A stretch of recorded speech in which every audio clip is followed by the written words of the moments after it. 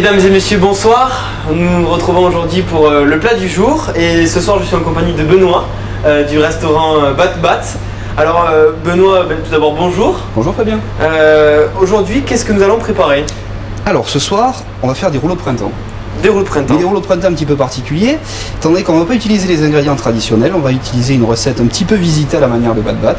Et on va Donc, c'est-à-dire vietnamien. Vietnamien. Voilà, pour ceux qui ne savent pas. Parce que le de printemps, bien sûr, c'est vietnamien. Voilà. Mais on va utiliser de la carotte, de la papaye verte et de l'oignon. Bon, alors justement, la papaye verte, on a la chance d'en avoir euh, un petit peu là. Euh, alors, c'est vraiment un légume euh, très très particulier. Les, les- même les, les graines qu'on a au, au centre, ça se, ça se mange aussi Alors celle-ci se mange pas. Ouais. Donc c'est une papaye euh, qui est totalement différente de la papaye commune qu'on connaît, puisque c'est une papaye qui se mange plutôt salée d'habitude. Et c'est un légume très croquant et ça va apporter du croquant à toutes nos recettes et en particulier au rouleau de printemps.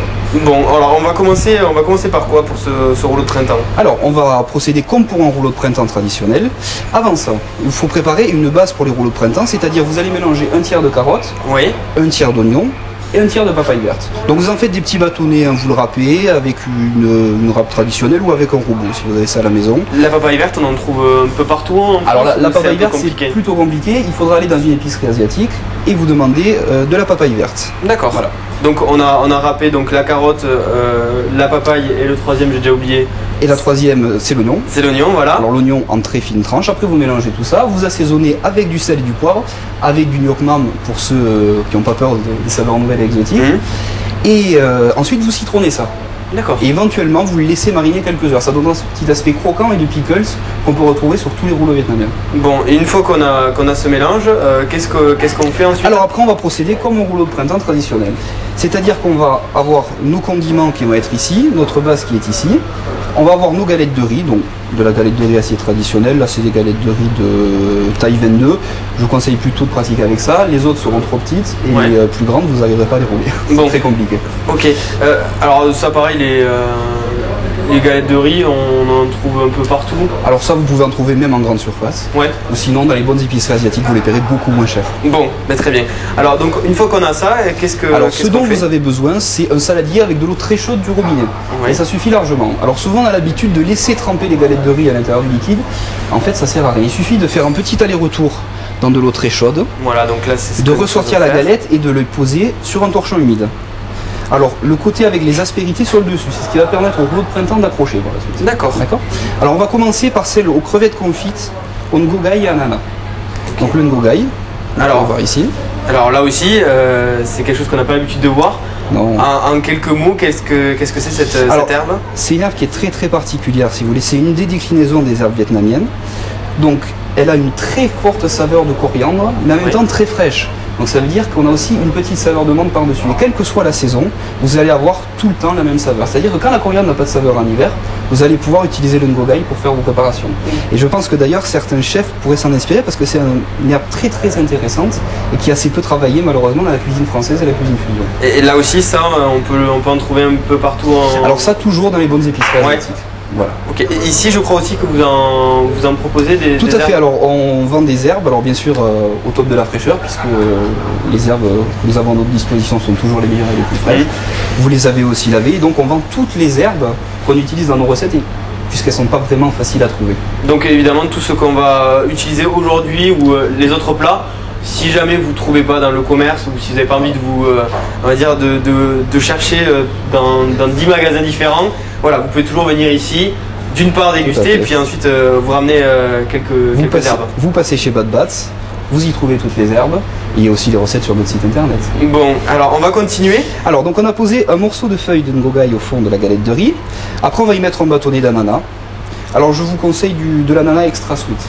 C'est vraiment meilleur et c'est parfumé toute l'année et très sucré. Donc, vous posez par-dessus. Après, on va mettre un morceau de queue de crevette confite. Donc là, qu'on a coupé en deux pour que ça soit plus facile à rouler. Donc, elle est confite au curcuma et au galanga. Donc, c'est des racines fraîches qui s'apparentent un petit peu au gingembre mais très très aromatiques. Bon, là aussi, euh, on a parlé du site internet. Vous pouvez retrouver euh, une petite description de ces deux, de ces deux herbes, puisque ça serait un peu long à expliquer euh, aujourd'hui. Donc, on, utilise euh, donc voilà nos, nos Donc crevettes. voilà, là on a mis nos condiments et après on va rajouter la base qu'on a préparée avec les carottes, la papaye, papaye verte et l'oignon. Donc on va bien la presser dans la main, la serrer. Voilà, pour donner vraiment un, un ensemble Voilà. très compact. Pour donner un ensemble compact et ensuite quand on va rouler ça sera aussi plus facile. Voilà, donc là on a la, euh, la bouchée qui est prête à être roulée, le rouleau printemps qui est prêt à être fait. Ok. Donc à partir de là, on va rouler la galette de riz, très simplement. Donc on va re pousser les bords de la galette vers l'intérieur. D'accord, donc Voilà, donc là elle va commencer à se souder. Et à partir de là, on va rouler le rouleau, donc c'est-à-dire qu'on va récupérer ça comme ça. Et on va bien serrer et tirer au fur et à mesure. Et là, on n'a plus qu'à rouler. Et on n'a plus qu'à rouler Le plus dur a été fait. et à faire notre rouleau. Voilà. Alors en général, quand on est débutant, c'est là qu'on casse la galette.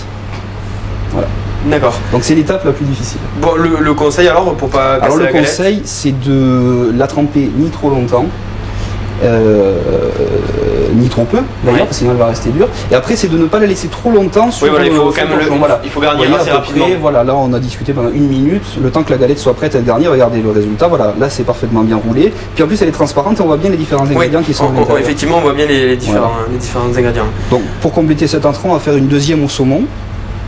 Donc on renouvelle l'opération, on retrempe la galette.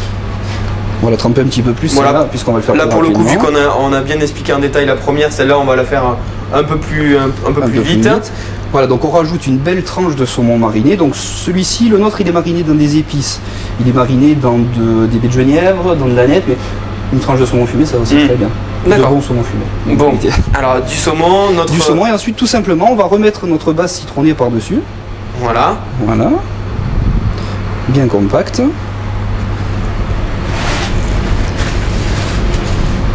Et on va rouler de la même manière. Donc c'est-à-dire on replie les bords, une nouvelle fois. Voilà, et une fois qu'on en est là, Voilà l'étape la plus compliquée. fermement. Voilà. Et là il faut bien tirer, sinon vous allez avoir des rouleaux qui seront un peu plus mous et après ça sera pas évident à couper. Voilà, et donc là vous voyez aussi vous avez un rouleau d'une très belle qualité. Bon, Voilà. Et bien maintenant tout simplement on va les couper et les dresser, vous allez voir c'est très très simple. ok. On va Allez, tirer notre torchon, attraper la planche. Voilà.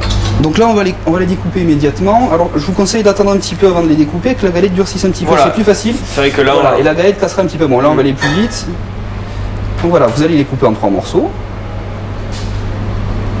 Avec un couteau qui coupe bien, de préférence, sinon vous risquez aussi de casser la galette. Voilà. voilà un premier morceau. Un premier morceau et un deuxième morceau. C'est vrai que c'est très très très joli visuellement. On voit plein de, plein de couleurs. Voilà. Et on va couper aussi celle au saumon.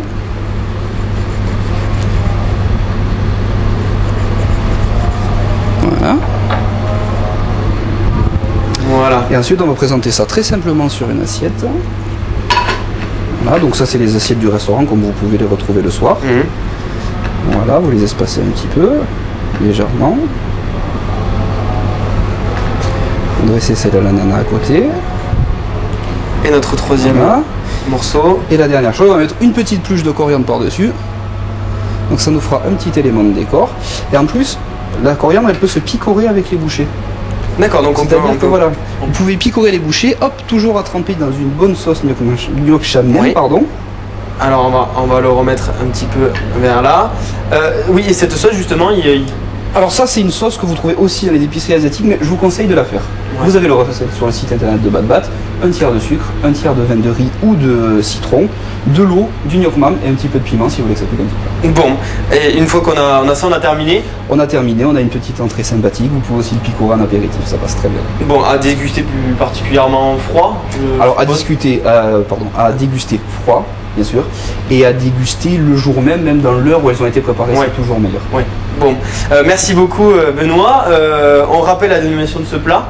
Donc ce sont des bouchées à l'ananas, aux crevettes confites et euh, au saumon, roulés comme des rouleaux de printemps avec de la papaye verte et de l'oignon. Bon, merci. Euh, demain, on, on se retrouve. Qu'est-ce que qu'est-ce qu'on va préparer? Alors demain on va préparer un plat traditionnel euh, du nord du Vietnam en été, le boboon. une préparation d'une grande salade à base de bœuf. Bon, mais parfait. Merci encore Benoît. Euh, bonne soirée à tous sur tous les infos. On se retrouve demain pour un nouveau plat.